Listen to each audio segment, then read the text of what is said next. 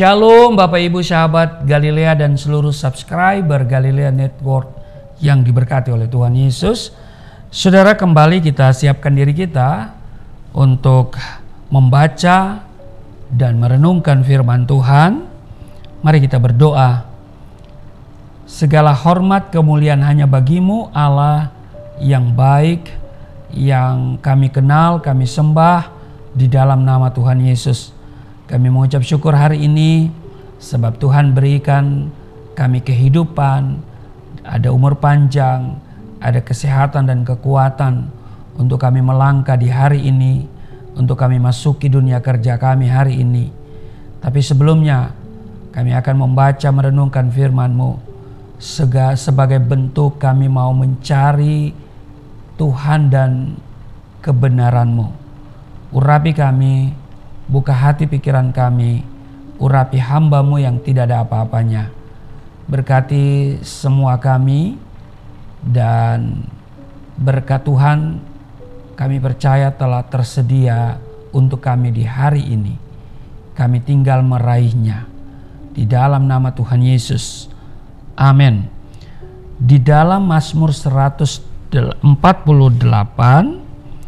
dikatakan pujilah dia hai segala malaikatnya pujilah dia hai segala tentaranya Mazmur 148 ayat yang kedua Saudara, setelah kita menjadi murid Yesus Kristus, kita pun harus melangkah untuk menjadi muridnya yang penuh loyalitas.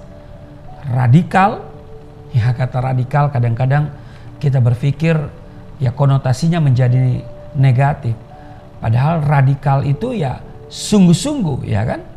Nah jadi kita harus melangkah untuk menjadi muridnya yang radikal, penuh loyalitas dan sungguh-sungguh mau membayar harga dengan ketaatan. Bahkan menderita baginya sehingga kita dapat disebut sebagai tentara atau prajurit Kristus. Di dalam 2 Timotius pasal 2 ayat 3, ikutlah menderita sebagai seorang prajurit yang baik dari Kristus Yesus. Saudara kita semua tahu bahwa tidak semua orang bisa menjadi tentara atau prajurit. Betul? Mereka adalah orang-orang pilihan yang telah lulus seleksi secara ketat. Mulai dari postur tubuh, tes fisik, tes kesehatan, dan sebagainya dan sebagainya.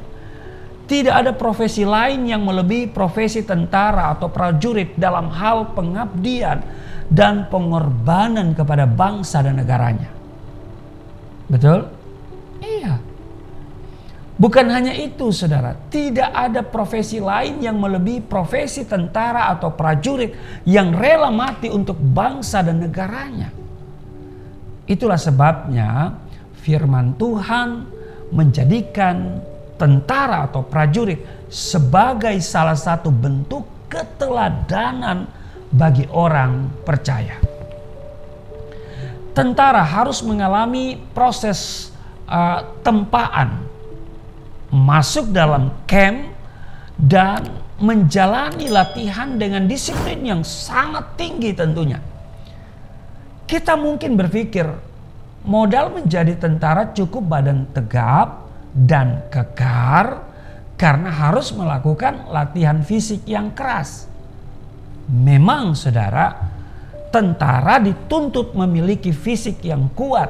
Namun dengar baik, bukan hanya itu.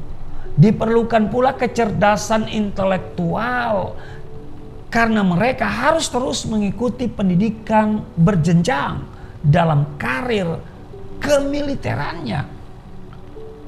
Sehingga ilmu strategi perang ya yang mereka miliki makin bertambah supaya pada saat terjun ke medan peperangan yang sesungguhnya mereka mampu mengalahkan lawan-lawannya dan tampil sebagai pemenang.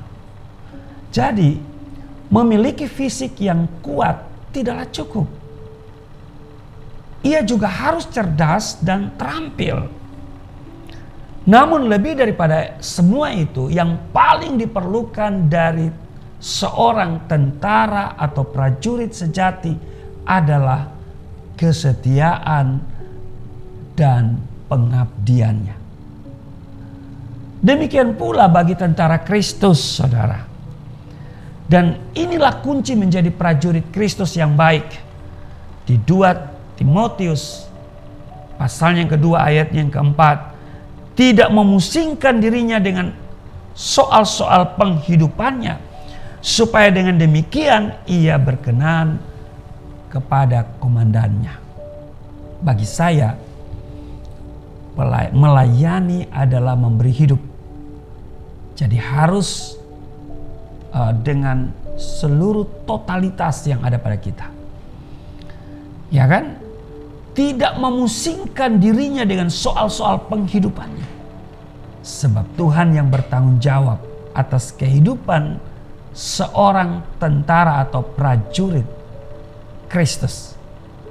Sudahkah kita setia uh, mengerjakan tugas yang dipercayakan Tuhan dan mengabdi penuh kepadanya?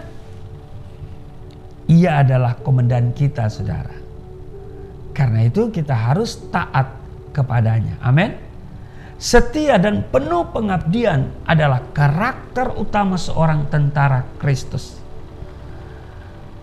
Kalau kita menyerahkan seluruh kehidupan kita sebagai seorang laskar Kristus, maka dia yang bertanggung jawab atas seluruh kebutuhan kita. Kita tidak perlu memusingkan diri kita dengan soal-soal penghidupan kita. Sebab Tuhan yang menyediakannya bagi kita. Di masa pandemi COVID-19 yang masih berlangsung sampai hari ini.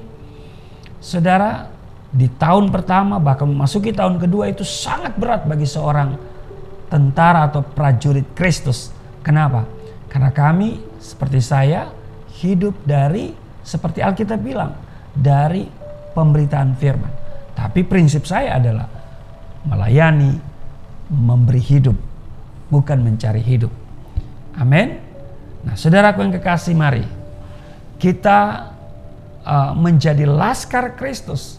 Kita taat dan penuh pengabdian kepadanya.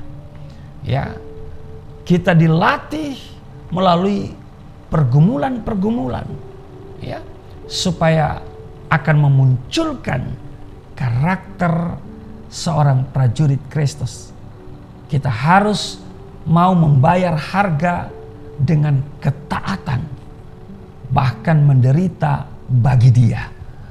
Saya sudah alamin, saudara, 4 tahun 6 bulan di penjara. Masuk penjara dipukul babak belur, saudara. Diproses sama Tuhan sampai persoalan-persoalan yang menyangkut kehidupan sehari-hari, yaitu ekonomi, rumah tangga, dan seterusnya dan seterusnya. Tetapi karena saya sudah berkomitmen untuk menjadi laskar Kristus sampai hari ini masih bisa bertahan hidup. Haleluya. Tuhan pelihara tidak kekurangan. Selalu pertolongan Tuhan itu tepat pada waktunya. Ya, sebagai seorang hamba Tuhan, pas butuh, pas ada. Haleluya. Amin. Pas butuh, pas ada.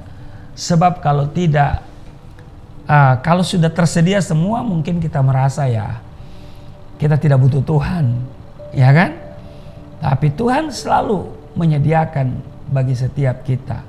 Apa yang menjadi kebutuhan kita hari ini, Tuhan sudah siapkan, sediakan waktu kita tidur di sepanjang malam.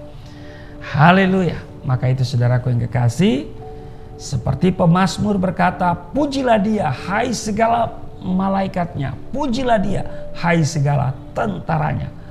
Pujilah Tuhan hai laskar-laskar Kristus. Amin. Tuhan Yesus memberkati, mari kita berdoa. Terima kasih Tuhan untuk hari ini kami sebagai laskar dan prajurit Kristus. Kami tidak memusingkan soal-soal penghidupan kami. Kami hanya memusingkan perkara-perkara kerajaan Allah. Sebab engkau yang berkata, carilah dahulu kerajaan Allah dan kebenarannya, maka semuanya akan ditambahkan kepadamu. Kami percaya bahwa semuanya Tuhan tambahkan kepada kami, segala kebutuhan kami yang kami perlu dalam hidup di dunia ini. Tuhan sediakan. Kami perlu keselamatan, kami perlu perlindungan, kami butuh berkat-berkat Tuhan. Kami perlu mujizat Tuhan siapkan bagi kami semua. Berkati seluruh sahabat Galilea, hari ini mereka penuh dengan sukacita. Ada kekuatan Tuhan beri ketika kami bekerja. Ada kemenangan yang Tuhan beri ketika kami berhadapan dengan pergumulan dan masalah. Terpujilah engkau di dalam nama Tuhan Yesus. Haleluya. Amin.